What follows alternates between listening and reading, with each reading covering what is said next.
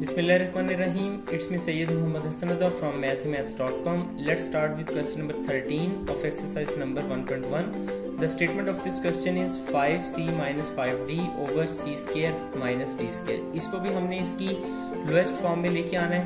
अब अगर हम इस डिनोमिनेटर को देखें तो ये है a2 b2 वाला फार्मूला तो a2 b2 अगर हो, यानी एक्चुअली अगर दो स्केयर्स हों और दरमियान में माइनस हो तो इसको हम एक दफ़ा ऐड करके एक दफ़ा हम सब्ट्रैक्ट करके लिख सकते हैं। तो यहाँ भी वैसी ही सिचुएशन है कि यहाँ पे दो स्केयर्स हैं, दरमियान में माइनस है तो इसको हम एक दफ़ा ऐड करके एक दफ़ा सब्ट्रैक्ट करके लिखते हैं तो ये हमारे पास आ जाएगा C plus D into C minus D और ऊपर जो न्यूमिनेटर है, इसमें से हम फाइव को कॉमन ले लेते हैं तो हमारे पास आ जाएगा सी माइनस डी यानी अंदर हमारे पास सी माइनस डी आ गया। अब यहाँ पे c माइनस डी इस c माइनस डी से कैंसिल आउट हो गया। तो हमारे पास बाकी जो इसकी लोएस्ट फॉर्म है, वो आ जाएगी five over C plus D ये क्वेश्चन कंप्लीट हो चुका है। अगर आपको इसमें कोई कंफ्यूजन है तो आप हमसे कॉन्टेक्ट करें। हमारा यूट्यूब चैनल अवेलेबल है। आप उसे सब्सक्राइब करें, ताकि हमारी लेटेस्ट वीडियोस और अपडेट्स आपको मिलती रहें।